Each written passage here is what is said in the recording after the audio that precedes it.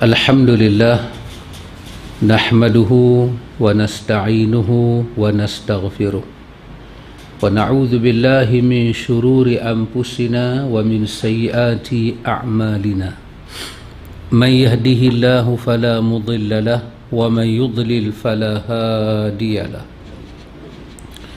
Ashhadu an la ilaha illallah wahdahu la sharika lah وأشهد أن محمدا عبده ورسوله. اللهم آت نفسي تقواها وزكيها أنت خير من زكاها أنت وليها ومولاها. أما بعد.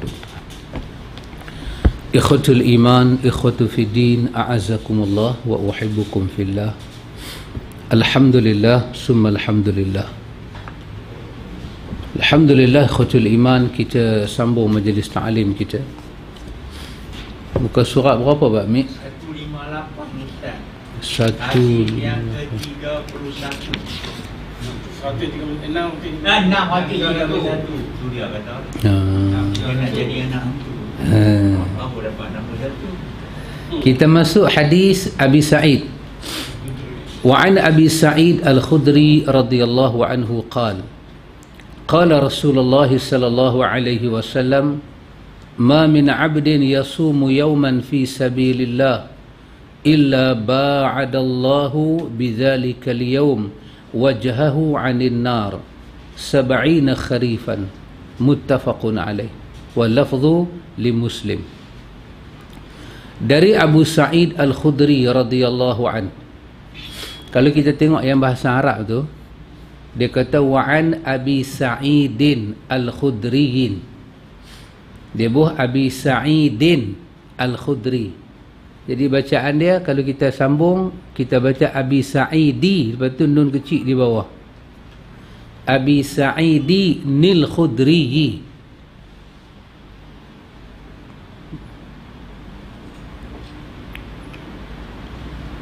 Dah apa tajuk dia panggil apa saya pun tak reti lah. Apa badal lah. Ke Ma'al Gunah ke ni? Tahu lah. Tajuk panggil apa tak tahu. Gagal sungguh tajuk ni.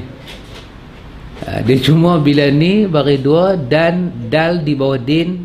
Lepas tu ni alif. Alif ni alif Hamzah Wasal.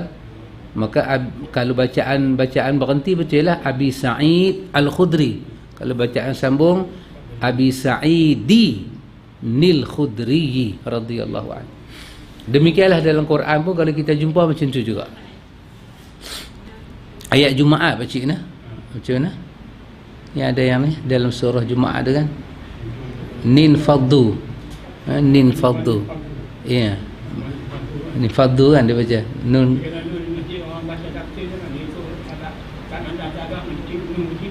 Dia tak bubuh. Ah. See? Dia kenapa? Nun kecil. Baik. Dari Abu Sa'id Al-Khudri radhiyallahu an. Rasulullah sallallahu alaihi wasallam bersabda, Tidaklah seorang hamba berpuasa sehari fi sabilillah kecuali Allah akan menjauhkan wajahnya dengan puasa tersebut dari neraka sejauh 70 musim gugur yakni 70 tahun. Sejauh 70 musim gugur. Yakni disebah kepada ialah 70 kali lah nak berjumpa dengan musim tu 70 tahun. Hadis ini hadis muttafaqun alaih tapi lafaz ini adalah lafaz Imam Muslim. Dari Abu Sa'id Al-Khudri radhiyallahu anhu dia berkata Rasulullah sallallahu alaihi wasallam bersabda tidaklah seorang hamba berpuasa sehari fi sabilillah dalam keadaan berjihad. Dia puasa dalam keadaan berjihad. Tapi hadis yang telah lalu kita baca tu kalau kita masih ingat bila sampai satu tempat nak perang tu Nabi kata siapa nak puasa puasa. Siapa nak buka buka. Nabi kata aku lihat lebih baik kamu puasa. Lepas tu Nabi jalan. Bila Nabi jalan mai satu tempat Nabi kata aku melihat keadaan sekarang elok kita buka. Lepas tu dah masuk asak dah maka Nabi pun minum setelah air tiba-tiba diberitahu pada Nabi ada sahabat tak mau buka. Apa Nabi kata? Ulaika usah. Depa ni derhaka pada Allah dan Rasul. Ha, ini menunjukkan dalam peperangan Nabi tak pernah paksa sahabat untuk puasa. Tak pernah. Tapi hadis ini wujud. Hadis ini wujud nak cerita kata orang yang berpuasa dalam keadaan perang pun boleh juga dalam keadaan perang. Dan nanti kita akan tengok apa syarat dia. Kalau dia puasa dalam keadaan berjihad jihad di sini sabilillah. Berperang berlawan. Dalam kecuali Allah menjauhkan wajahnya dengan puasa tersebut Allah jauhkan muka dia dengan sebab dia puasa. Satu dia puasa. Kedua sabilillah. Dari neraka sejauh 70 musim gugur. Hadis ini menunjukkan keutamaan berpuasa dalam keadaan berjihad yakni berperang. Asalkan puasa tersebut tidak membuatnya lemah untuk memerangi musuh. Itu syarat dia. Itu syarat dia. Dia puasa tapi puasa tu tak bagi dia tak bagi dia lemah. Dia boleh puasa macam itulah jihad duduk dalam Islam dia dia duduk yang terakhir. Dia duduk pada benteng terakhir. Dia bukan awal-awal jihad dia duduk yang terakhir. Dah kita kata nurut eno jalan Islam tetap diperangi. Barulah uzina lilladina yuqatilu bi annahum zulimu. Ini ayat daripada surah al-hajj. Diizinkan kamu berperang kerana kamu dizalimi. Bukan kata dakwah-dakwah tu mula dengan jihad. Tidak. Dakwah tu sebahagian daripada jihad tapi jihad di sini dengan makna qital berperang ada yang qatil ada yang maktul ada yang membunuh dan ada yang terbunuh tapi kita telah tinggal bab bab jihad sampai orang Islam tak nampak jihad itu apa. Ha, jihad dikaitkan dengan teroris, jihad dikaitkan dengan Daesh, dengan ISIS. Yang zalim-zalim tu wujud tapi jihad yang ada dalam hadis tu tak nampak sampai lah. Kadang-kadang dalam bulughul maram ni ada bab jihad. Ada bab jihad. Kita sekali pergi buka bab tu baca, hmm, kena pula kena pula orang kita dah sampai hilang dah apa itu jihad yang sebenarnya baik seakan-akan keutamaan tersebut kerana dia telah melakukan dua jihad bersama Imam Sana'ani kata Allah beri pahala sebesar ni neraka jauh daripada muka dia 70 tahun seolah-olah ada dua ada dua jihad yang berlaku berjihad melawan musuh dan berjihad melawan hawa nafsu daripada makan, minum dan syahwat. Jadi besarlah balasan Tuhan.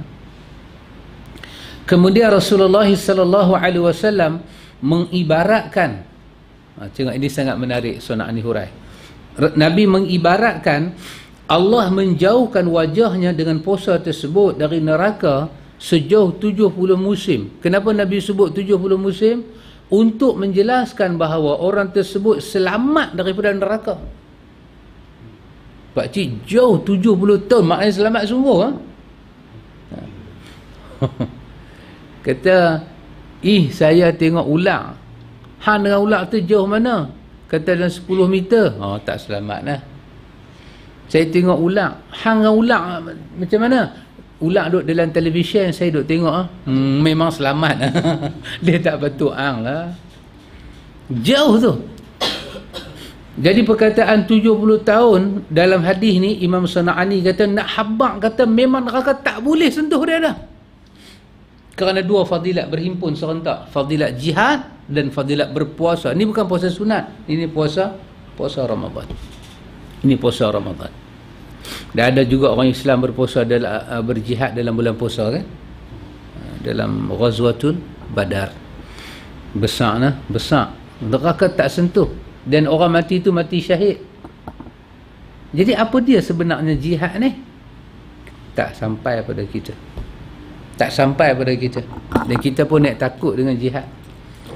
Dan kebanyakan ulama-ulama kita pun tak meniup semangat jihad takut orang kita jadi macam-macam kan? Tapi tak. Tidak tidak. Sayyidina Abu Bakar kata kalau jihad itu mati daripada satu kaum maka tunggulah hari dia akan dihina oleh Allah. Ha, jihad tu dia lain. Marah marah orang pelakir bangsa kita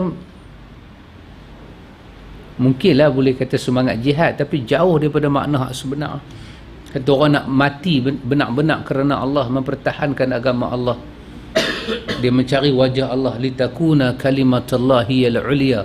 Dia mati itu kerana mengangkat agama Allah tu naik naik di atas. Ini satu babnya lain. Baik, ala kulli halnya Sana'ani bawa hadis Abi Sa'id Al-Khudri nak menceritakan tentang puasa di dalam sabilillah.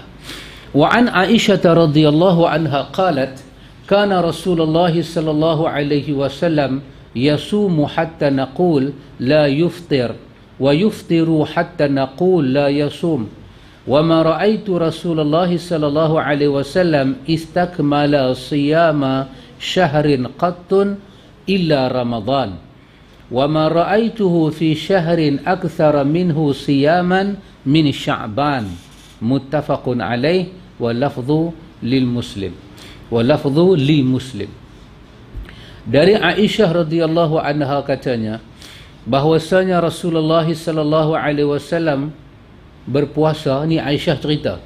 Aisyah cerita eh? Aisyah cerita. Aisyah kata Nabi berpuasa sehingga kami menyatakan kami duk tengok Nabi puasa isteri-isteri Nabi kami duk tengok kami kata beliau tidak berbuka-buka. Cara Nabi duk puasa sunat ni. Hey, macam tak ada hari Nabi tak puasa ni. Ni semua hari puasa kata Aisyah dan beliau berbuka yakni tak puasa hingga kami menyatakan beliau tidak berpuasa. Dan aku tak pernah melihat Rasulullah sallallahu alaihi wasallam berpuasa sebulan penuh kecuali pada bulan Ramadan. Dan aku tidak melihat bulan yang paling banyak beliau berpuasa kecuali bulan Syaban. Ini hadis muttafaqun alaih. Inilah hadis yang kita duk kata kan Aisyah kata kami tengok Nabi kalau start dia puasa sunat macam dia tak pernah tak puasa. Maka kejadian dia banyak berlaku dalam bulan Syaban bulan Syaban ni banyak Nabi puasa. Dan tak ada tak ada bulan Nabi puasa sebulan penuh. Maknanya Nabi tak pernah puasa sunat sebulan penuh. Aisyah kata Nabi puasa sebulan penuh hanya dalam Ramadan. Dia guna perkataan apa dia? Dia guna perkataan istakmala sauma syahrin qat illa Ramadan. Istakmala sempurna siam syahrin. Siam sempurna puasa Nabi sebulan qat cukup-cukup. Melainkan pada bulan Ramadan. Dan Aisyah kata apa yang dia tengok Nabi ni dalam bulan Syaban ni aksar aksar banyak puasa tapi sebulan penuh hanya hanya Ramadan.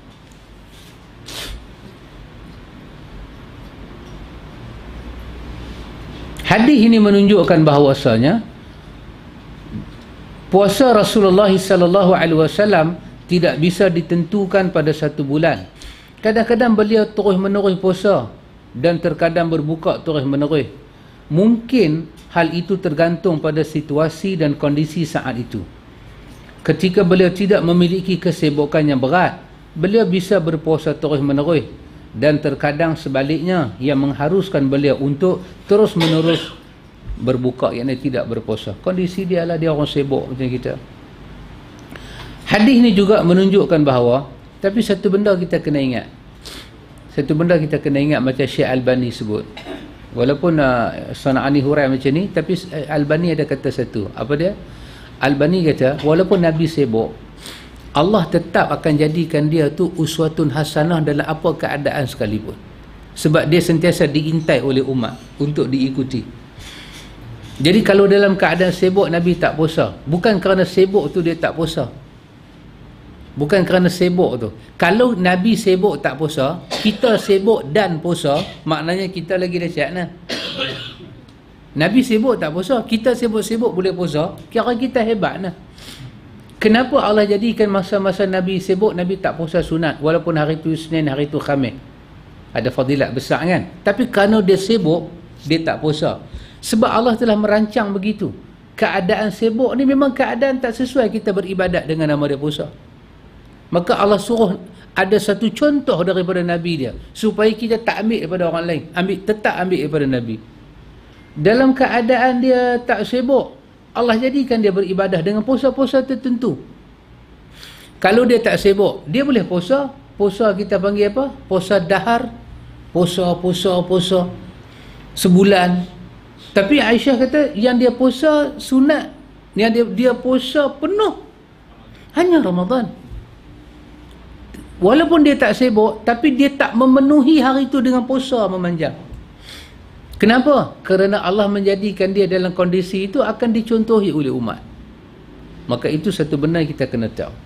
Hadis ini juga menunjukkan bahawa Nabi mengkhususkan bulan Syaban untuk memperbanyakkan puasa dibandingkan bulan-bulan yang lain. Aisyah radhiyallahu anha telah menyebut alasan mengapa Rasulullah melakukan hal itu.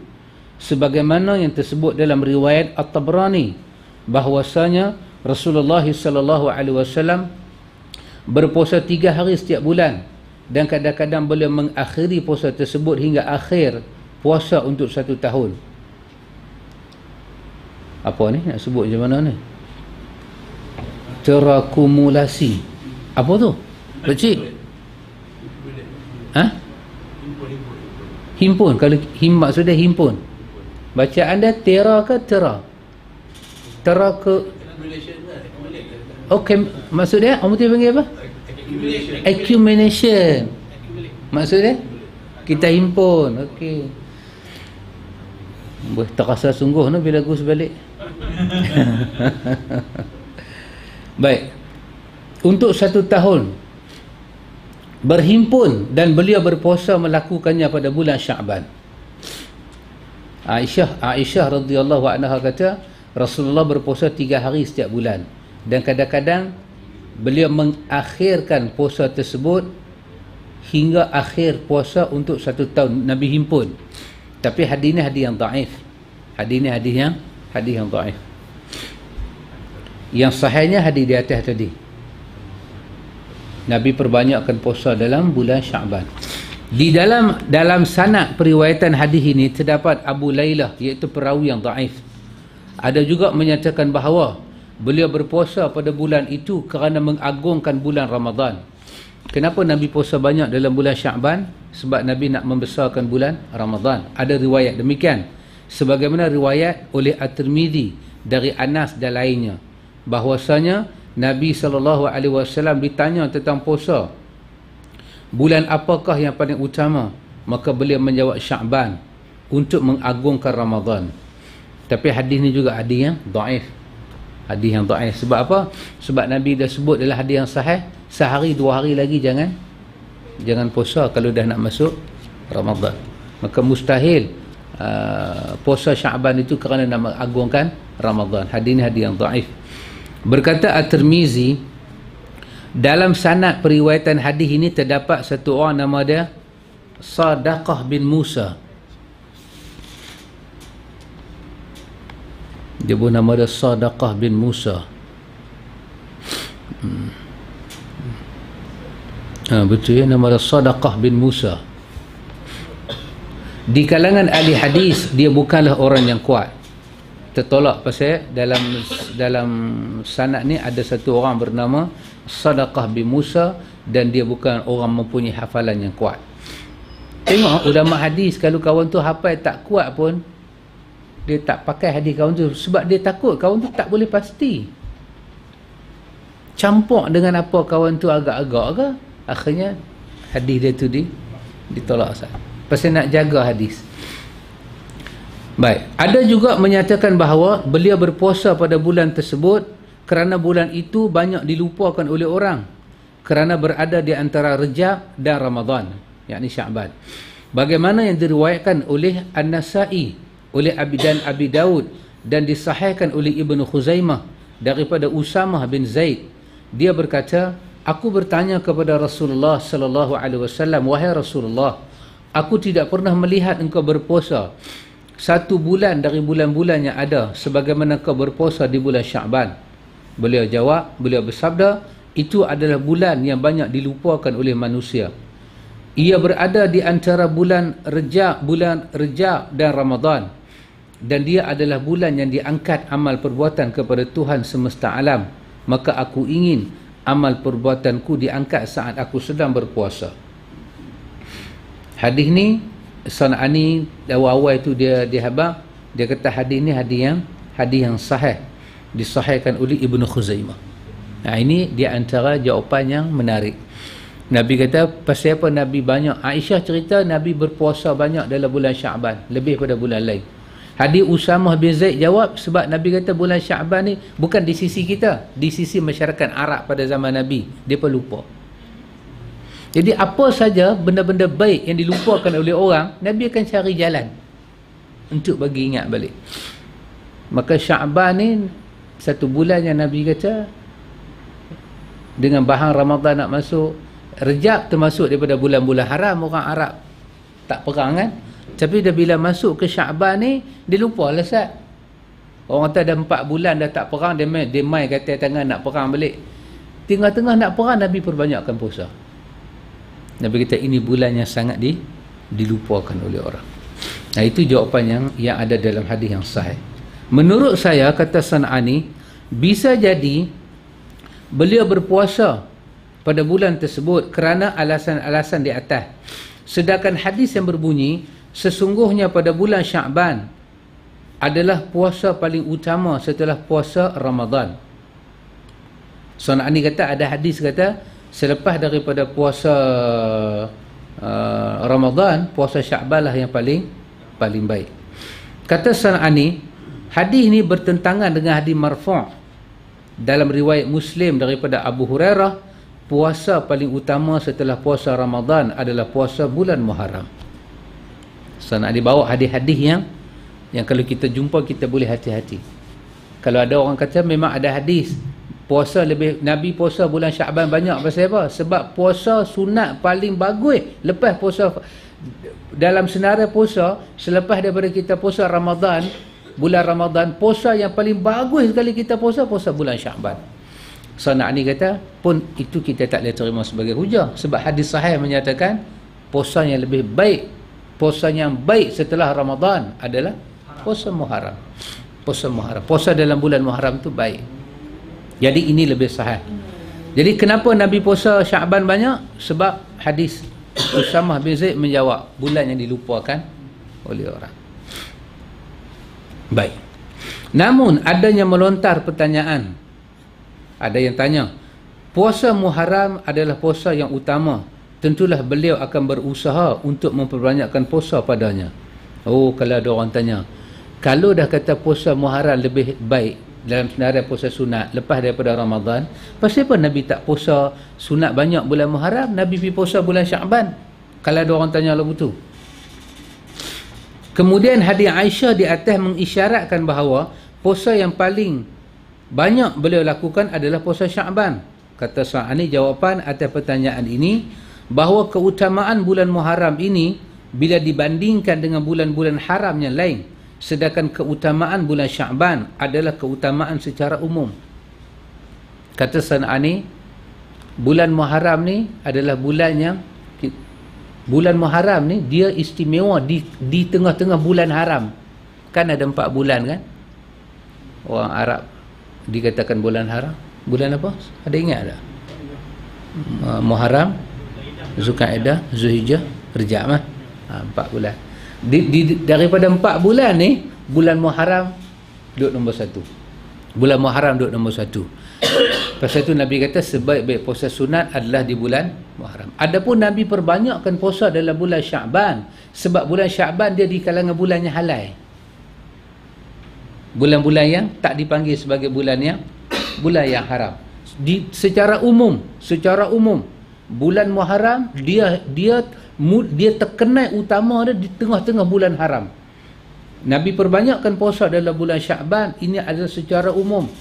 Secara umum, bukan kata bila Nabi uh, puasa banyak dalam bulan Syaban, bulan Syaban menolak kelebihan Muharram tak ada ada. Kelebihan Muharram di atas bulan haram. Adapun Syaban dia tak termasuk dalam bulan bulan haram. Nabi perbanyakkan puasa. Jadi dalam bulan yang haram ada kelebihan dia dalam bulan yang biasa-biasa ni ada juga kelebihan dia iaitu Syaban. Tapi dalam semua tu tak bolehlah potong bulan Ramadan. Tengok dia punya urutan eh? Kita kata dalam bulan-bulan haram, Muharram duduk nombor duduk di atas eh? Dalam bulan-bulan yang tak masuk bulan haram ni, Syaban eh, duduk. Tapi dalam semua bulan yang duduk ada, Ramadan duduk di atas. Nah, kerana itu, kata Sana'ani, kita boleh jawab dengan jawapan yang macam tu. Namun alasan beliau tidak memperbanyakkan puasa pada bulan Muharram. Sebagaimana yang dikatakan oleh An-Nawawi sesungguhnya beliau mengetahui hal tersebut pada akhir daripada hayatnya. Kata Nawawi kalau orang tanya apa siapa Nabi perbanyakkan puasa dalam bulan Syaban sebab antara Syaban dengan bulan Muharram Nabi tahu kelebihan Muharram ni last kelebihan Syaban ni tahu lebih awal maknanya di akhir barulah dibagi tahu kata bulan Muharram itu lebih lebih tinggi. Itu jawapan Imam Nawawi. Sana'ani dia jawab macam tadi. Uh, Nawawi jawab senang. Nawawi kata sebenarnya bulan Muharram tetap duduk nombor satu. Tapi kenapa Nabi perbanyak puasa bulan Syaban? Sebab Nabi tahu daripada langit kelebihan bulan Muharram ni lambat. Pasal itu Nabi perbanyakkan Masa Nabi duk perbanyakkan puasa sunat dalam bulan Syaban, kelebihan Muharram tak turun lagi. Ha, last barulah kelebihan Muharram turun. Pasal itu Nabi sebut sebaik-baik puasa adalah puasa sunat dalam bulan Muharram. Ha, tu baru Nabi tahu. Bermakna di sisi Nawawi bulan Muharram tetap nombor nombor satu. Itu perkataan Nawawi.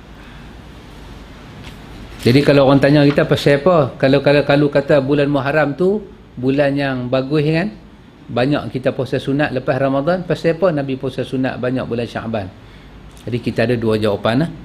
jawapan di sisi Sana'ani dia kata Muharram itu teken, dia lebih di tengah-tengah bulan haram manakala Syaban dia lebih di tengah-tengah bulan yang tidak senarai dalam bulan bulan haram tapi di antara semua bulan tu tak ada tak ada bulan boleh potong bulan Ramadan itu jawapan Sana'ani jawapan An-Nawawi senang Nabi duk puasa bulan Syaban banyak ni puasa sunat pasal masa tu belum turun lagi wahyu daripada sisi Allah yang kata eh, Muharram ni punya kelebihan.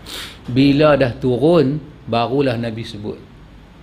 Apa? Puasa baik-baik puasa sunat lepas Ramadan ni pernah puasa fardu puasa yang afdal lepas daripada puasa Ramadan adalah dalam bulan Muharram. Baru Nabi sebut. Dengan adanya hadis itu bermakna bulan Muharram tetap nombor satu Syaban jatuh nombor nombor dua. Begitu. Itu jawapan daripada Sana'ani. At least bolehlah jawab juga Pak Cik daripada tak boleh jawab langsung lah. Kita jawab lah juga. Baik. Jadi hadis ni kita pegang kata Nabi perbanyakkan puasa sunat dalam bulan Syaban dan kita boleh tak perbanyakkan puasa sikit dalam bulan Muharram jawapan dia boleh. Itu sebaik-baik dia.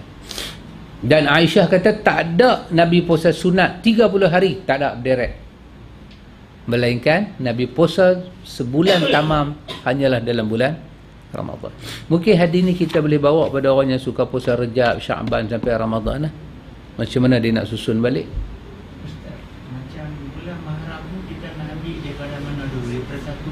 Ha, satu Muharram ha, satu boleh ambil dah Ha, ya boleh Pak Amir. Iya, betul. Iya betul.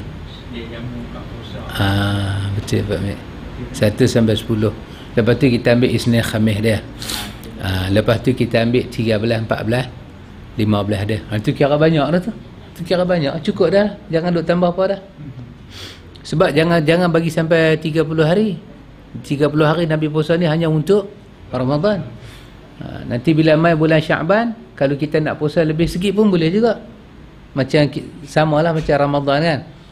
Tapi Sana'ani dia kata Sana'ani lebih cenderung pada pandangan bila Syaban dah masuk 15 naik ke atas tak usah duk puasa apa dah? Ambil Isnin Khamis je. Nak puasa ni sebelum berjumpa dengan 15 jadi dua bulan ni silakan silakan. Baik wa an abi hurairah wa an abi dzar radhiyallahu anhu qala amarna rasulullah sallallahu alaihi wasallam an nasum min syahri thalathata ayyam thalathata ashara wa arba'a ashara wa khamsa ashara rawahu an-nasa'i wa wa tirmidhi wa sahahu ibnu khuzaimah. Dari Abu Zar radhiyallahu anhu dia berkata Rasulullah sallallahu alaihi wasallam memerintahkan kami untuk berpuasa tiga hari pada setiap bulan. Yakni pada tanggal 13, 14 dan 15. Hadis ini hadis An-Nasa'i, hadis Tirmizi dan disahihkan oleh Imam Ibnu Khuzaimah. Bukan saja Ibnu Khuzaimah bahkan Tirmizi menyatakan hadis ini juga hadisnya hasan sahih. Hadis ini telah diriwayatkan melalui berbagai jalur sanad periwayatan dari Abu Hurairah dengan lafaz jika kalian berpuasa maka berpuasalah pada hari-hari yang yang apa? Bid hari bid ayyamul bid. Yakni maksud ayyamul bid terang ataupun purnama. Dalam dalam riwayat Ibnu Hibban dalam riwayat Ibnu Hibban hadis pada Abu Hurairah ada ada riwayat kata kalau kamu nak puasa puasalah pada hari hari bid hari yang terang. Tapi hadis Ibnu Hibban tu adalah hadis yang daif. Manakala hadis yang kita baca di atas ni hadis Abizar ni hadis yang sahih. Ibnu Hibban ada keluarkan hadis macam ni juga daripada Abu Hurairah tapi yang tu daif. Manakala Ibnu Hibban keluarkan satu hadis yang macam ni juga. Hadis Abizar di atas yang ni sahih. Ada dua hadis yang macam ni satu Abu Hurairah satu Abizar yang Abizar sahih yang Abu Hurairah jatuh jatuh daif. Lafaz ha- hadis Abu Hurairah, kalau kamu nak puasa, puasalah pada hari-hari bid. Yang tu daif. Lafaz Abizar, Nabi perintah kami suruh puasa pada 13, 14, 15. Yang ni sahih. Yang ni sahih. Dalam riwayat dalam lafaz lain diriwayatkan oleh An-Nasa'i, jika kalian berpuasa, maka berpuasalah pada hari-hari bid, yakni pada tanggal 13, 14 dan dan 15 yang ni Hasan. Yang ni adalah yang Hasan. Perawi-perawi kitab As-Sunan meriwayatkan daripada Abu Qatadah bahawa Rasulullah sallallahu alaihi wasallam memerintahkan kami untuk puasa bid yakni tanggal 13 14 dan 15 lalu beliau bersabda berpuasa pada hari itu bagaikan berpuasa satu tahun yang ni sahih. Ha, sahih. Kita puasa hari apa? Ayat bid ni macam kita dapat pahala puasa sunat setahun. Banyak no puasa sunat yang kelebihan dia setahun-setahun ni. Banyak juga no. sebelum ni apa dia? Puasa arafah. Awal muharram. Ni puasa bid asyura lagi? Syawal. Syawal setahun juga kan jadi ya sajalah saya katakan ha ni apa ni? Atas su'a asyura kan.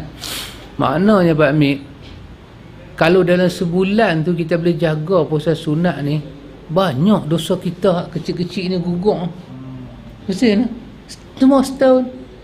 Kalau mai Arafah lagi pula setahun sampai setahun yang akan datang. Sudah syat puasa sunat lah. Ya. Macam seorang mamah ni dia nak ada puasa ada bulan Ramadan. Ha, tapi dia ambil tarikh 13, 14, 15 tu sini ya. Tak apa boleh. Tapi dia kena ingatlah qada tu wajib. Qada puasa tu wajib. Manakala puasa 13, 14, 15 tu sunat. Ya. Kalau dia ambil hari tu dia puasa, bolehlah. Bolehlah. Cuma al- alangkah bagusnya kalau dia puasa bukan pada 13, 14, 15 supaya pada hari-hari lain dia boleh qada pada hari-hari 13, 14 dia dapat fadilat. 13, 14, 15 kalau jawab dari segi usul dari segi usul fikih usul fikih kata yang wajib menanggung yang sunat.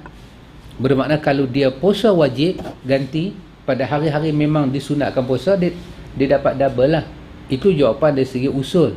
Tapi jawapan tu tak disokong oleh mana-mana riwayat yang yang sahih. Yang bestnya dia puasa ganti pada hari-hari Selasa ada, Rabu ada. Kan? Dia, ataupun dia ambil Jumaat, Sabtu, Ahad. Direct dia pergi. Selesailah puasa dia.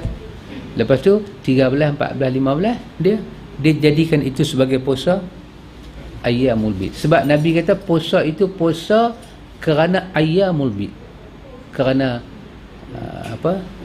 Ha, bulan cerah. Ni mesti ada benda. Bila Nabi kaitkan dengan bulan ni mesti ada benda. Yang kita tak tahu lagi. Mungkin para para pengkaji akan jumpa. Wallahu taala alam. Jadi macam Nabi kata puasa Syawal. Nabi nak kita puasa dalam bulan Syawal kerana Syawal. Bila kita pergi puasa qada puasa qada Nabi tak sebut qada Nabi sebut Syawal Nabi nak kita puasa Syawal. Nabi sebut sebab apa kita puasa Syawal. Sebab apa kita puasa Arafah. Sebab apa kita puasa apa nama Mahram. Nabi nak bila kita pergi puasa hari tu hari Arafah tapi kita pergi niat qada. Bermakna kita puasa kita puasa qada. Yang Nabi nak kita puasa hari tu tak, tak jadi. Kita kata nak buat bagaimana wajib saya tak bayar lagi maka kita kena cari jalan lah. Bayarlah hari-hari lain supaya kita boleh puasa Isnin kerana dia Isnin. Kita puasa Khamis kerana dia Khamis. Ha, kita tapi kalau puasa juga wajib tak ada masalah pun. Bukan kata nak pergi rosak apa-apa tak ada apa boleh juga. Adakah pahala tu dapat berdua? Saya kata wallahu ta'ala alam. Hanya Allah yang maha tahu cuma dalam usul fikih dia kata kalau yang wajib menanggung yang yang sunat yang besar menanggung yang yang kecil. Itu jawapan usul fiqh lah. Jawapan dari segi hadis saya kata wallahu taala alam tak ada lah. Tapi wajiblah kita bayarnya wajib tu kan? Begitu. Baik. Nabi kata lagi An-Nasai meriwayatkan hadis marfu' daripada Ibnu Jarir. Puasa tiga hari tiap-tiap bulan bagaikan puasa sepanjang masa iaitu puasa hari-hari yang yang bid ini hadis ini hadis hasan. Kata uh, kata Sana'ani dan, dan sanadnya adalah adalah sahih. Jadi besar kita puasa 13 14 ni besar. Besar dia boleh mengkifaratkan dosa kita yang kecil-kecil ni masa tahun. Ada juga hadis yang menyebut puasa 3 hari tiap-tiap bulan namun tidak diketahui harinya. Ada juga hadis macam ni. Sehingga para ulama membahagikan puasa 13, 14, 15 asin. Lagi satu puasa 3 hari asin. Maknanya di akhir-akhir ujung bulan tu kita boleh ambil 3 hari lain untuk puasa. Memang ada riwayat macam tu.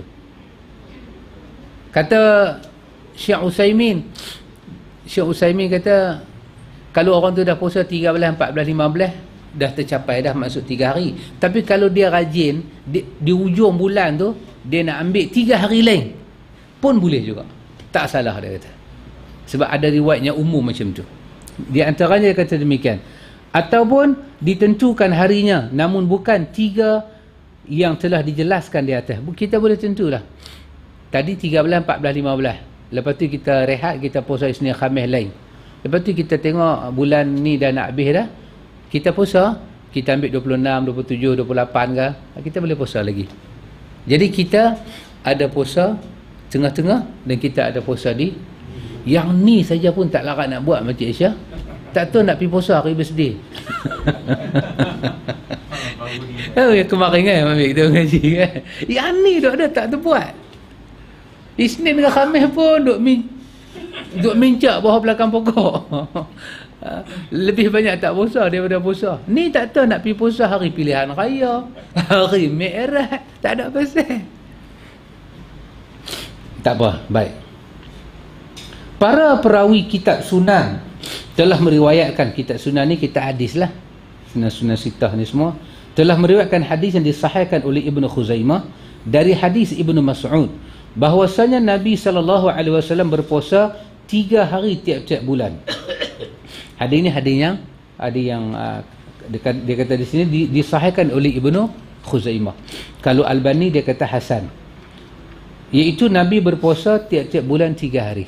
Tapi dalam hadis tak sebut kan 13 14. 13 14 tu hadis khusus. Adapun tiga hari ini dan ada juga para ulama yang kata sebenarnya tiga hari yang tak ada tarikh ni 13 14 15 itulah. Dia kata jangan buat ramai ada memang ada pandangan lagu tu ada tapi secara umum kita nampak macam ada dua hadis maka kita tak boleh membantah orang nak puasa ekstra tiga hari lain di hujung bulan silakan Imam Muslim meriwayatkan daripada Aisyah bahwasanya Rasulullah berpuasa tiap-tiap bulan tiga hari. Beliau peduli pada bulan apa beliau berpuasa. Ini hadis Hasan. Aisyah kata Nabi SAW dia akan puasa tiap-tiap bulan tiga hari. Tapi bukan dengan puasa wajib. Dengan makna kata Nabi akan maintain macam wajib. Tidak. Dia ada masalah dia tinggal lah. Tak ada apa-apa dia puasa lah. Lagu tu lah. Dan Aisyah kata dia sangat peduli benda tu. Dia sangat peduli. Orang putih kata apa? Dia very apa? Ha? Particular. Dia very particular dia concern lah dia sangat concern. Dia tengok bulan ni dah nak habis dah. Dah nak puasa. Kalau sibuk dia tinggal lah. Kalau tak ada sibuk dia puasa. Jadi Aisyah kata macam tu itu hadis Imam Muslim. Sedangkan puasa-puasa tertentu namun bukan tiga hari di atas. Ialah hadis yang diriwayatkan oleh Abi Dawud An-Nasai daripada Hafsah bahwasanya Rasulullah sallallahu alaihi wasallam berpuasa tiga hari tiap-tiap. Tiga hari setiap bulan. Hari Isnin hari Khamis. Dan hari Isnin dari seminggu berikutnya. Ini hadisnya Hasan. Dia kata ada ada juga ada juga para ulama memberi tafsiran kepada makna puasa ni. Bahwasanya Nabi puasa tiap-tiap Nabi puasa tiga hari daripada tiap-tiap bulan. Macam mana? hari Isnin hari Khamis dan hari Isnin. Daripada seminggu tu. Nabi puasa hari Isnin Nabi puasa hari Khamis jumpa pula Isnin kan? Nabi puasa. Yang tu tak akan miss. Yang tu tak akan miss. Yang tu lah maksud tiga hari yang selain daripada 13, 14, 15 ini daripada daripada Habsah. Wallahu ta'ala alam hanya Allah maha mengetahui tetapi secara hakikatnya puasa Isnin, puasa Khamis dalil dia lain. Dalil dia asin. Puasa Arafah hari dalil dia asin. Semua ada dalil-dalil yang yang asin. Dan tidak ada pertentangan antara hadis-hadis di atas kerana semuanya menunjukkan dianjur puasa pada tiap-tiap hari tersebut. Dia kata tak ada masalah apa hari Senin pun ada dalil suruh puasa. Hari Khamis pun ada dalil. 13, 14, 15 every month pun ada. Tiga hari asin di ujung. Ujung orang putih panggil apa Pak Cik? Ha? ending. Last ending F apa Pak Cik? Oh, Pak Cik cakap macam malu je end of the month. Ujung-ujung kan? Tiga hari ambil. Tiga hari ambil. At, semua ni ada dalil belakang. Silakan. Boleh buatlah macam mana. Dan setiap perawi meriwayatkan apa yang ia lihat. Setiap perawi melihat meriwayatkan apa yang dia, dia tengok. Habsah Habsah tadi meriwayatkan apa dia tengok? Dia kata aku tengok Nabi ni Isnin masuk bulan masuk bulan baru Isnin Isnin yang mula tu dia akan jaga puasa Lepas tu Khamis yang berikutnya dia akan jaga puasa. Lepas tu Isnin minggu kedua tu dia akan jaga puasa. Tiga hari, tiga tu. Adapun Isnin yang lain tu aku tengok dia macam terlepas lah juga. Lepas tu tiga belas, empat belas, lima belas dia mesti jaga. Jadi Habsah kata yang maksud tiga hari selain tiga belas, empat belas, lima belas ni, ah, ni Isnin pertama, Khamis, lepas tu Isnin pergi balik. Ah, yang tu maksud Habsah kata kata Sana'ani setiap perawi menceritakan apa dia tengok. Mungkin betul apa yang Habsah cakap. Tetapi Aisyah cerita pula apa yang dia tengok. Aisyah kata apa? Aisyah katanya aku tahu Nabi semayang qabliyah. Nabi semayang qabliyah apa nama qabliyah zuhur empat rakaat. Ibnu Umar kata tak aku tengok dua. Sebab Ibnu Umar tak tengok dua rakaat di rumah mai isteri Nabi yang lain dia kata aku tengok Nabi semayang qabliyah pun empat ba'diyah pun empat. Setiap mereka meriwayatkan apa yang mereka tengok. Pada kita tak ada masalah. Janji sanad dia sahih. Kita boleh terima semua. Maka qabliyah boleh buat dua qabliyah boleh buat empat ba'diyah boleh buat dua ba'diyah boleh buat empat. Silakan. Tak ada masalah ha? aku? Hmm Dua pun aku tak buat. Aku buat lohok tu mujok banyak dah. Aku buat lohong tu mujuk banyak lah. Baik, sedangkan apa yang dilakukan oleh Rasulullah sallallahu alaihi wasallam mungkin sangat berkaitan erat dengan kesibukan beliau. Kemudian syariat telah menentukan hari-hari bid tersebut. Namun ada 10 pendapat di kalangan ulama dalam masalah ni yang telah dijelaskan dalam Fathul Bari. Ada 10 pendapat ulama pula dalam masalah ni pak cik. Walaupun pendapat tu tak ada pandangan yang kuat macam cik abang kan. Dia jujur, dia bubuh 10 pendapat tu. Jadi kesimpulan dia daripada hadis Abi Zar ni disunahkan kepada kita dalam riwayat yang sahih kita berpuasa tiap-tiap bulan 13, 14, 15 dan kita boleh berpuasa 3 hari ekstra di hujung bulan. Yang tu atas kita nak pilih hari apa. Kelebihan dia semua ni setahun punya dosa. Kafarah oleh Allah. Besar Pak Amin ya kalau kita duk buat ya? Ah kat ah, ke ah, ni tengok pak cik soalan pak cik sangat menarik. Soalan pak cik pak cik ada pada muka surat 163 ah pasal tasyrik pun jatuh 11 12 13 ah okey kita tengok lagi baik selesai nah وعن أبي هريرة رضي الله عنه أن رسول الله صلى الله عليه وسلم قال لا يحل لامرأة أن تصوم زوجها شاهد إلا بإذنه متفق عليه واللفظ للبخاري زاد أبو داود غير رمضان Dari Abu Hurairah radhiyallahu an bahwasanya Rasulullah sallallahu alaihi wasallam bersabda tidak halal bagi seorang wanita untuk puasa sedangkan suaminya ada bersamanya. Alamak salah kecuali dapat izin daripada suaminya. Muttafaqun alaih. Lafaz hadis ini daripada Bukhari. Abu Daud menambah yang dia kena minta izin daripada suami itu selain pada bulan Ramadan. Ramadan jangan duk pihak abang cik nak puasa esok boleh tak? Yang tu nama bini mangkak. Tak payah minta izin. Ramadan just nawaitu saum maqdim besok puasa bila yang nak kena minta izin ni puasa? Puasa sunat satu. Yang kedua pula dia puasa sunat tu hari laki ada rumah. Hari laki ada rumah. Ialah hari-hari laki ada rumah. Kalau laki kena kerja 12 jam 12 jam. Dia keluar pergi kerja pukul 6 dia balik pula saat ni pukul 7 malam.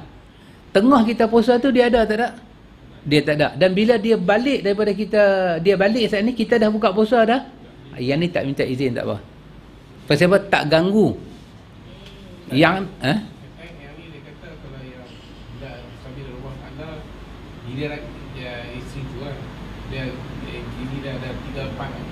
Ah boleh juga cik. Boleh juga. Pak cik punya tu jauh nah bagus. Ada betul lah. Kalau giliran dia kan? Ya betul lah. Bila suami ada di rumah sama ada kalau isteri seorang hari suami duduk ada di rumah lah. Tak kerja tak apa dia duduk di rumah. Kalau kena giliran bini lain dia pergi ke sana. Dia ada maka bila suami ada isteri nak puasa boleh. Tapi dalam hadis ni kata syahidun zaujuha syahidun. Suami dia duduk ada depan dia.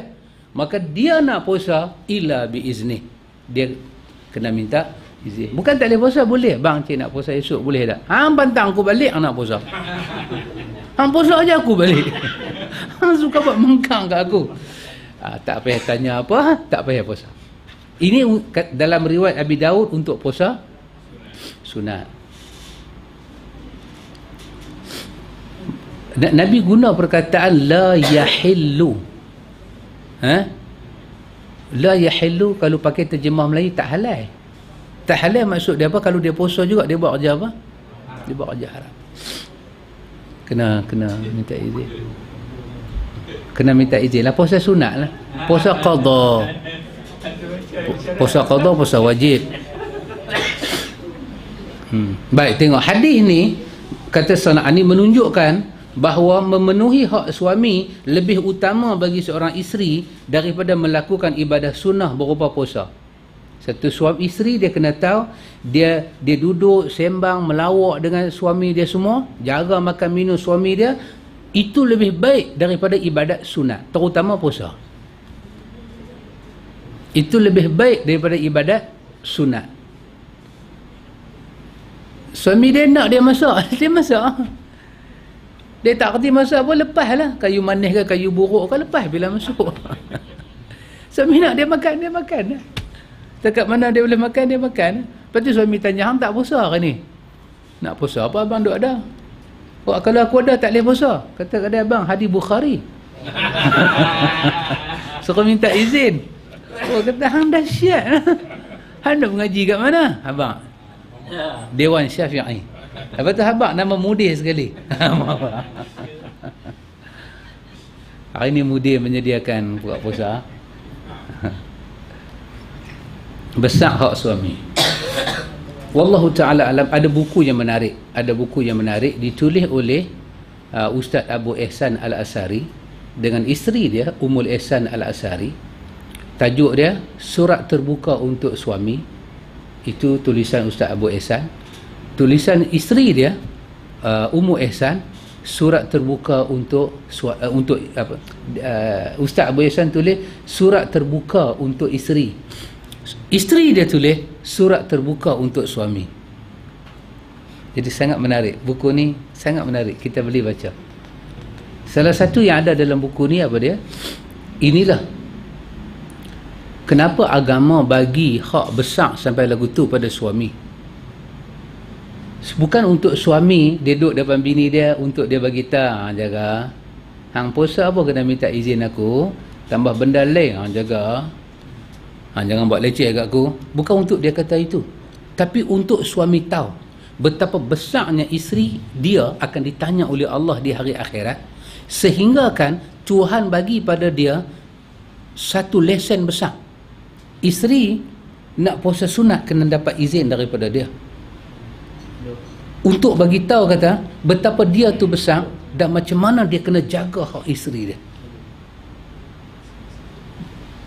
kita CEO Kelang CEO besar-besar macam gaji belah-belah ribu puluh ribu makin besar gaji kita dapat satu benda kita kena tahu apa dia makin berat kerja kita makin berat eh? kalau kuli-kuli biasa dah boleh balik semua mungkin CEO tak boleh balik lagi ni kena tanya Abang Kasim eh? kan? ha. orang lain semua duduk dalam Malaysia Abang Kasim kena keluar.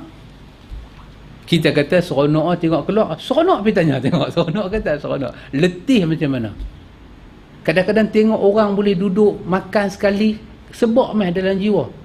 Dia tu gaji tak sebesar kita. Amanah tak seberat kita.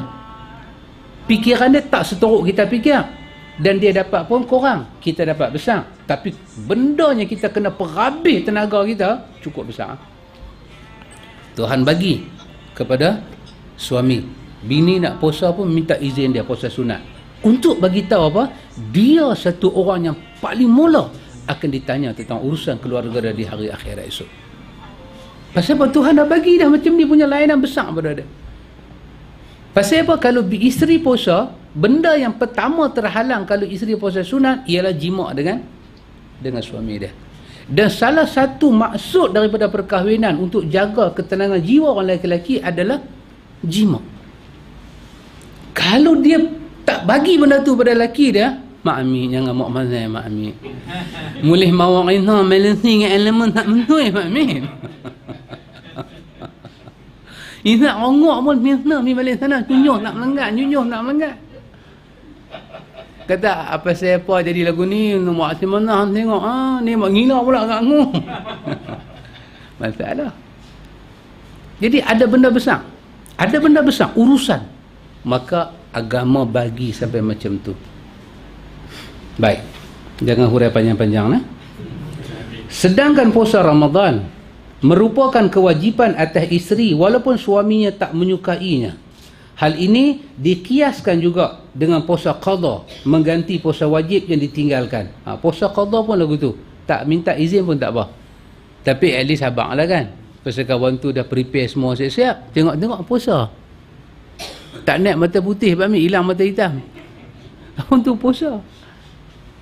Apabila wanita tersebut memaksa diri untuk puasa sunnah tanpa izin suaminya maka dia telah melakukan perbuatan haram dia paksa juga diri dia kita ajak sikit eh dia ni.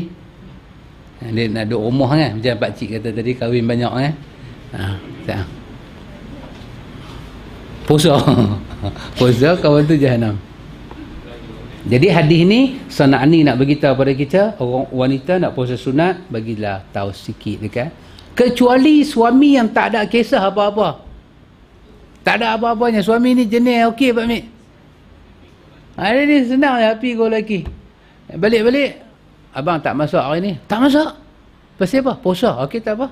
Abang pun puasa sekali. Oh senang. Senang. Ah, tak ada apa-apa. Lagu tu tak abang pun tak apa. Kadang-kadang dia ni puasa tak abang. Kadang dia ni puasa pun tak abang. Bini pun masak masak cantik ikan belah belakang Pak Mik semua. Abang tak balik ke abang puasa. Bini pun tak kisah tak apa abang. Dan ikan tu pun dah terbelah baby kat dia kita makan saat ni. Okey. Lagu tu kira cantik harmoni punya rumah tangga cantik. Ah, yang tak cantik ni ni hak sengit sebelah ni. Dah je puasa tak abang kat aku. Hang tak tahu macam mana aku ambil cuti hari ni. Aku nak lari balik hang pergi puasa. Hantuk dah kepala kat dinding berdebu berdebu jiran duk dengar. Lagu ni kena bagi tahu sepatah baik wa an abi sa'id al-khudri radhiyallahu an wa an abi Sa'id Al-Khudri. Macam mana nak baca dia? Sa'id. Macam mana? Sa'idi lepas tu? Ha. Kalau saya Sa'idi Sa'idi ha? Kalau Sa'idin baru Al-Khudri. Kalau Sa'idi Nil Khudri. Ha, don't forget nah, nun kecil tu. Tanwin bertemu dengan dengan alif hamzah wasai. Bukan hamzah wasai hamzah wasal. Orang Melayu Pinang wasai. Hamzah wasal kan? Jadi tanwin dia tak boleh berjumpa dengan alif ma'rifah jadi bacaan dia Abi Sa'idi Nil Khudri. Kalau sambung lah kalau waqaf Abi Sa'id Al Khudri. Daripada Abu Sa'id Al-Khudri kata dia anna Rasulullah sallallahu alaihi wasallam naha an siyami yawmain yaumil fitri wa yaumin nahar. Muttafaqun alaih. Daripada Abu Sa'id Al-Khudri radhiyallahu an bahwasanya Rasulullah sallallahu alaihi wasallam melarang puasa dua hari hari raya dua hari raya iaitu raya Aidul Fitri dan raya Aidul Adha Hadis ini merupakan dalil haramnya berpuasa pada kedua hari raya tersebut. Kerana menurut kaedah hukum syariat, larangan itu menunjukkan pengharaman. Inilah pendapat jumhur jumhur ulama. Jika seseorang bernazar untuk berpuasa pada kedua hari raya tersebut, menurut pendapat yang kuat nazarnya tidak sah. Kerana dia bernazar untuk melakukan suatu kemaksiatan. Namun ada yang menyatakan bahawa orang tersebut harus berpuasa dua hari selain hari raya untuk menggantikan nazar itu. Jadi dia kena ganti jugalah. Tapi untuk puasa pada satu syawal dan sepuluh zulhijjah, tak dibenarkan. Pasal apa? Pasal Nabi kata, ini Nabi kata adalah ayamul akli wa syurbi. Hari kita makan dan hari kita minum. Umar pula kata apa? Yaumul farah wa surur. Hari seronok, hari gembira. Lepas tu kita kata tak usah duk menangis di kubur. Marah pula orang kita. Apa kata tak boleh ziarah kubur. Dia tak sayang kat mak dia. Tak. Ziarah kubur tu masyru' ada. Tapi menentukan hari itu tak ada. Lepas tu Nabi kata, aku dulu aku aku larang kamu ziarah kubur. Pasal apa Nabi larang awal-awal? Sebab sebab manusia dengan kubur ni dia ada etikat. Sampailah Nabi tengok kepercayaan sahabat dapat dikikis. Nabi kata fazuruha. Hari ni pilah ziarah. Dulu Nabi tak bagi. Memang asal Nabi tak bagi. Sahabat-sahabat di Mekah pergi kubur. Tak bagi langsung. Pergi kubur takat apa? pi korek tanam orang habis balik. Tak mau tak mau nak pi ziarah dah. Tak mau. Sampai nabi kata nabi kata apa? La'an. Apa nabi sebut dalam hadis? La'anat perempuan tu. Nabi kata laknat kepada perempuannya berulang alik rumah ke kubur rumah ke kubur rumah ke kubur. Laknat. Pasal apa? Nabi kata la'anallahu al-yahud wa nasara ittakhadha qubur anbiya'ihim masjida. Allah laknat Yahudi dan Nasara. Di antara kerja depa ni, suka ambil kubur-kubur nabi depa buat tempat beribadat. Bismayang, pi baca doa. Allah kata laknat depa. Aku tak mau mak aku kena laknat. Lama Nabi tak bagi sahabat pergi ziarah kubur. Lama. Memang sejarah peng, uh, Nabi larang sahabat pergi kubur itu wujud dengan hadis. Nabi kata, Nahaitukum an ziyaratil kubur. Aku larang kamu ziarah kubur. Bila sahabat boleh ikut cara Nabi. Nabi kata apa? Fazuruha. Hari ini pergilah ziarah kerana dia boleh mengingatkan kamu kepada kematian.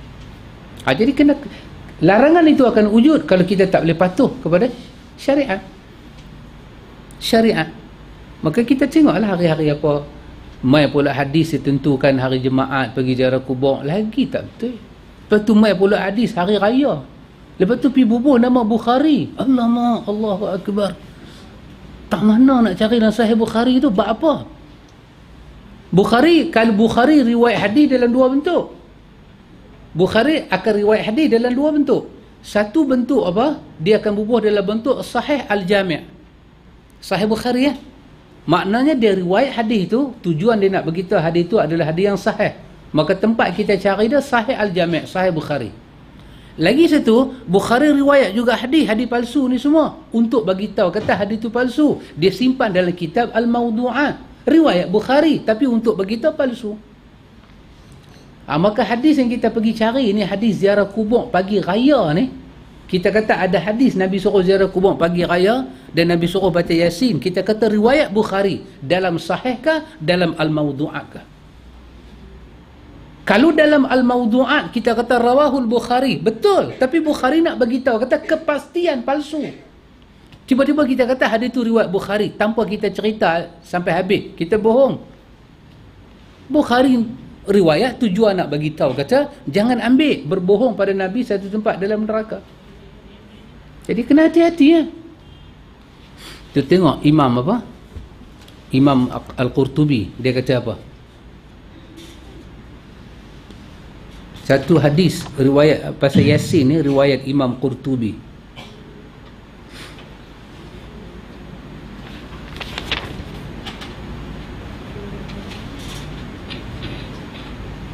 Imam Qurtubi kata ada hadis berbunyi hadis daripada Ummu Darda hadis daripada Ummu Darda. Iaitu berbunyi ma min maitin yuqra'u alaihi suratu yasin illa haw illa hawanallahu alaihi. Hadis daripada Ummu Darda.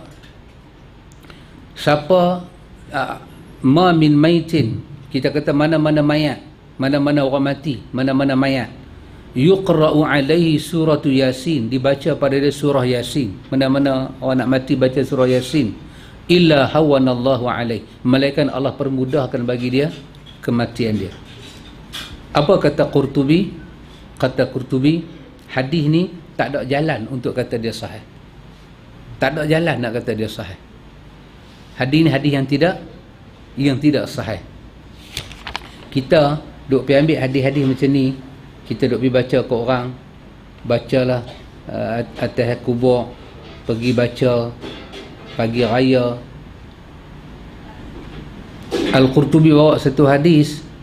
Man qara'a surah yasin lailatul jumu'ah asbaha ma asbaha maghfuran lahu.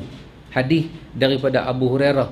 Barang siapa baca surah yasin pada malam jumaat maka pagi-pagi esok dia bangkit dia baca yasin malam jumaat. Pagi-pagi jemaat besok dia bangkit dalam keadaan Allah ampun dosa dia. Apa kata Imam Qurtubi? Maudhu' hadis ini hadis palsu. Wa zakara Ibnu Jauzi fil mawdu'an. Bukan kata uh, apa nama Al-Qurtubi. Ibnu Jauzi dalam kitab dia Mawdu'an. Ibnu Adi dalam kitab dia Ad-Du'afa. Kesemuanya menyatakan hadis ini hadis yang hadis yang palsu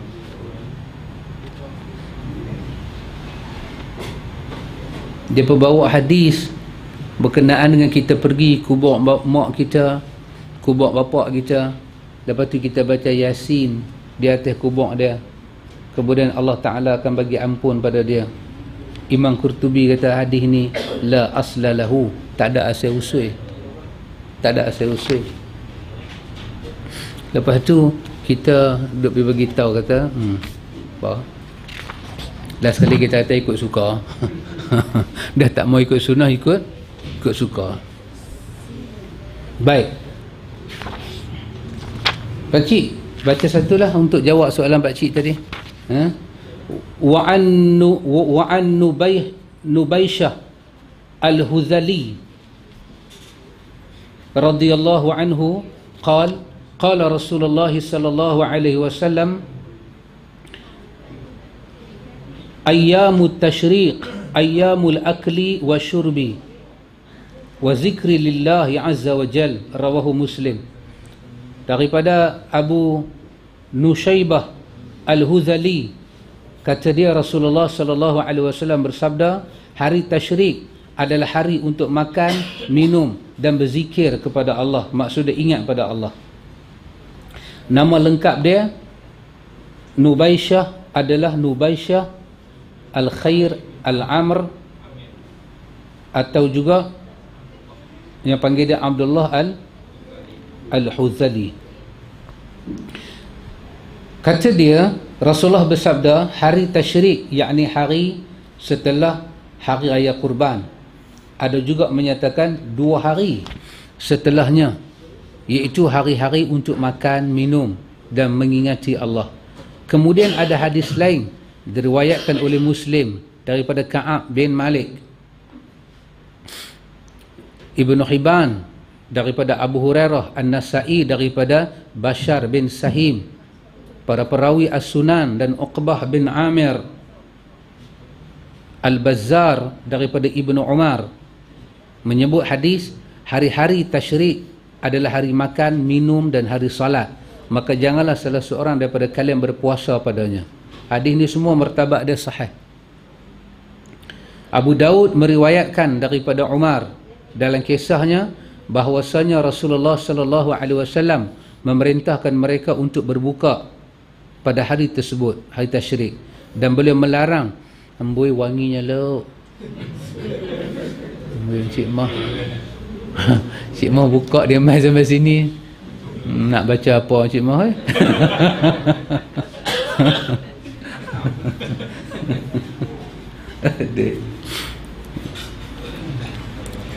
hmm. Nabi melarang berpuasa pada hari tasyrik. Yakni hari tasyrik At-Tabari At-Tabrani. Meriwayatkan daripada Abdullah bin Huzal bin bin Hazafah As-Sahmi. Hari tasyrik adalah hari makan hari minum dan hari berjima. Dia ni pergi tambah terus. Ada ada ni tak dia ni pergi tambah jima. Apa kawan ni jadi yang benarnya hadis sahih kata hari itu hari makan hari minum. Okey lagi. Dia itu pergi tambah hari makan minum berzikir pada Allah okey. Dia ni pergi bagi riwayat ni jadi lemah dia kata hari itu hari berjima. Kadang-kadang oh tu lah ulama adi dia boleh. Kan? Dapat kat kita kita lagang hadis ni puan-puan kan hadis ni serta hadis-hadis lain telah kami sebut menerangkan larangan berpuasa pada hari tasyrik namun kemudian timbul perbezaan pendapat apakah larangan itu bererti haram atau hanya anjuran untuk meninggalkannya nampak cik tadi soalan pak cik kan kita puasa hari-hari putih kan 13 14 15 hari tasyrik sebelah, dua belah, tiga belah. Maka tiga belah tu jatuh hari mula kita nak kita nak puasa kan. Maka senang ni bagi tahu. Daripada hadis ni jelas hari tasyrik Nabi kata hari makan dan hari minum. Dia tak guna perkataan naha Rasulullah. Nabi tegak. Dia guna perkataan Nabi kata ayyamut tasyrik, ayyamul akli wa syurbi. Hari hari tasyrik, hari makan dan hari hari minum. Maka ulama khilaf. Kalau orang tu puasa juga hari tasyrik haram ke? Ataupun bila Nabi kata hari makan, hari minum, maka makruh kita puasa. Maka hari itu kalau puasa haram ke makruh ulama khilaf. Beberapa ulama salaf asy-syafi'i dalam pendapatnya yang masyhur dan beberapa orang lain berpendapat bahawa larangan tersebut pengharaman bersifat mutlak. Ini mazhab syafi'i. Mereka menyatakan hari tersebut tidak diperbolehkan puasa. Baik orang tersebut sedang melaksanakan haji tamattu' maupun tidak. Hadis ini mengkhususkan membatasi keumuman ayat berpuasa tiga hari dalam musim haji. Ini dalam suratul Baqarah. Ini orang yang yang kena apa nama? Kita panggil dam. Eh? dia kena ah dia puasa tiga hari di Mekah dan tujuh hari bila dia balik kan? Ah, bila dia balik dia kena dam. Dia kita panggil puasa dam iaitu bila dia melakukan benda-benda wajib haji tu dia langgar lepas tu dia tak ada duit nak bayar dam maka dia boleh ganti dengan puasa 10 hari 3 hari puasa di sana maka 7 hari puasa sini. Maka bila orang puasa dam di sana ah, yang tu yang Nabi kata. Ha, itu itu yang ha, Nabi kata hari ni hari kita makan minum buat apa nak puasa. Kerana ayat tersebut bersifat umum meliputi hari-hari sebelum maupun sesudah hari korban Sedangkan hadis ini bersifat khusus bicara masalah hari-hari tasyrik saja. Ayat Quran kata boleh puasa di Mekah tiga hari tak sebutlah kan. Hari apa kita nak puasa? Manakala hadis kata jangan puasa hari itu. Dia kata walaupun jika dilihat dari sisi lain yakni sabda ni ditujukan kepada orang yang melakukan haji maupun tidak namun sifat khususnya mengkhususkan hari tasyrik lebih diutamakan kerana sisi inilah yang ingin ditekan dalam dalil tersebut yakni pada hari itu bukan saat untuk puasa dan seakan-akan hari tersebut jika dilihat dari peruntukannya fungsinya melarang adanya puasa saat itu. Penulis kita nampaknya dia macam lebih bersetuju pada pandangan Imam Syafi'i. Maka tak usah hari itu Imam Syafi'i pegang kata larangan. Larangan puasa. Tapi saat ni, bukan saat ni lah, saya ingat besok kot, kita akan jumpa hadis Bukhari, Nabi benar pula puasa hari tersyirik. Kita akan jumpa sebagai satu rukhsah. Nabi benar pula, boleh puasa hari tersyirik. Ha, nanti kita akan tengok. Sedangkan Hadawiyah, Hadawiyah ni siapa dia? Satu mazhab syiah nah, di Yaman. Berpendapat bahawa orang yang sedang melakukan haji tamattu' dan tidak memiliki haiwan korban diperbolehkan untuk puasa saat itu. Hadawiyah kata, boleh puasa kalau dia nak puasa dam itu boleh berdasarkan ayat di atas dan adanya riwayat bahawa Ali radhiyallahu anhu pernah melakukannya. Namun untuk orang-orang yang melaksanakan haji kiran ataupun haji ifrat tak dibolehkan berpuasa jika mereka tidak memiliki jika mereka tidak memiliki haiwan korban yang boleh puasa hari itu dalam mazhab syiah hanyalah tamattu' kiran dengan ifrat tak boleh puasa. Sebab tamattu' ni dia nak kena bayang dia punya dam dan dia tak ada duit maka dia boleh puasa tiga hari sana. Dan ada orang lain berpendapat bahawa mereka yang melaksanakan haji tamattu' kiran maupun ifrat dibolehkan untuk berpuasa berdasarkan keumuman ayat di atas dan berdasarkan hadis berikut. Mail buat satu pandangan kata boleh. Tamattu' ke ifrat ke kiran ke kalau dia ada puasa dam dia boleh puasa di sana. Berdasarkan ayat Quran kata ayat Quran surah Baqarah 196 kata tiga hari puasa di sana. Yang kata boleh tu ha, ni dia buat main hadis ni. Hadis Aisyah radhiyallahu anha kata kata Aisyah hadis ni hadis Aisyah hadis Ibnu Umar.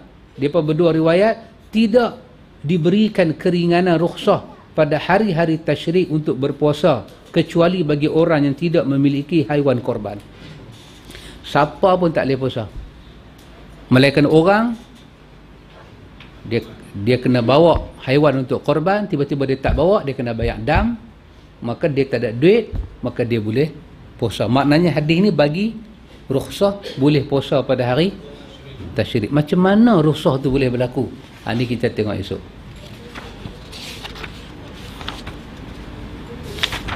Pak Mik? Yeah. esok kena kerja keras sikit lah Pak Mik.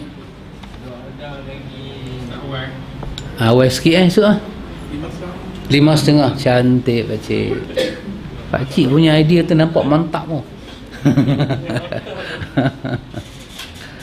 Jadi petang ni kita baca beberapa hadis Satu hadis kita baca betapa besarnya puasa sabilillah.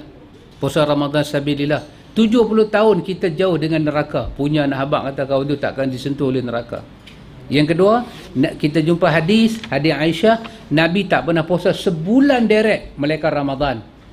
Tapi Nabi banyak puasa sunat dalam bulan Syaban. Antara bulan Syaban dengan bulan Muharram, hadis sebut bulan Muharram lah puasa sunat paling baik setelah Ramadan. Tapi pasal apa Nabi perbanyak puasa dalam bulan Syaban tidak dalam bulan Muharram? An-Nawawi jawab apa? Sebab Nabi tahu kelebihan bulan Ramadan last. Sebelum tu Nabi duduk pakai bulan Syaban. Lepas tu kita jumpa hadis Abi Dhar sunat kita puasa tiap-tiap bulan 13, 14, 5 15 dan kita jumpa hadis juga boleh puasa ekstra tambah 3 hari lagi. Kemudian kita jumpa hadis Abi Hurairah. Perempuan kalau nak puasa sunat kena minta izin suami. Melainkan puasa wajib. Yang kata puasa wajib itu apa puasa Ramadan. Qada Ramadan. Itu adalah wajib dan nazar. Itu adalah lain semua kena ada perbincangan dengan suami. Lepas tu kita jumpa hadis Abi Sa'id tentang Nabi tak bagi puasa pada dua hari dua hari raya. Siapa nazar nak puasa hari itu dia bawa lah nazar daripada hari lain. Dan kita baca hadis daripada Nubaisyah Al-Huzali. Dia kata Nabi kata hari tashrik hari makan hari minum. Mazhab syafi'i pegang haram berpuasa pada hari itu tetapi ada ulama kata makruh saja. Yang kata makruh ni siapa dia? Mazhab Abu Hanifah bukan kata kecil macam Mazhab Abu Hanifah kata makruh. Pasal apa makruh? Kerana ni ada hadis yang kita akan jumpa esok. Jadi kalau ikut mazhab Syafi'i pak cik, kita minggu tu kita tak puasa. Minggu tu kita tak puasa lah. Kalau 13, 14, 15 kan.